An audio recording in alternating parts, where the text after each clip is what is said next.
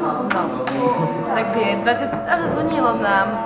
Takže 22.10.2020 očakávame koncom roku, koniec roka, vlastne koniec sveta. Takže tým pádom toto video sa asi nebude môcť...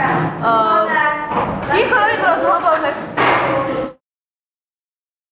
No, blíži sa koniec sveta, takže nevieme, či to niekto niekedy uvidí túto našu uh, verziu života školského človeka.